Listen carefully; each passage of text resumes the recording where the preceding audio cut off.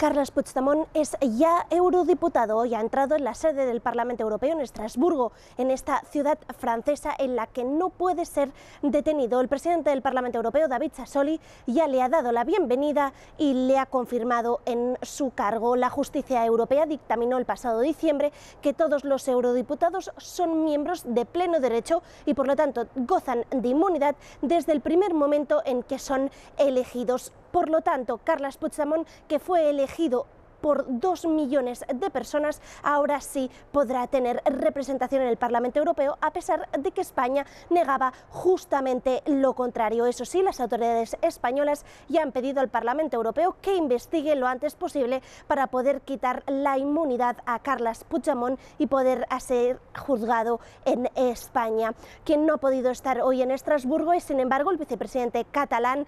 Uriol Junqueras, quien ahora mismo está en prisión por un delito de sedición y 13 años de prisión y por lo tanto no puede tener inmunidad a pesar de ser elegido también eurodiputado porque sí tiene sentencia firme pero para lo que algunos empieza, para otros acaba, porque esta es la última semana en la que los eurodiputados británicos estarán en el Pleno de Estrasburgo, porque el próximo 31 de enero los eh, eurodiputados británicos tendrán que abandonar el Parlamento Europeo porque Reino Unido dejará la Unión Europea.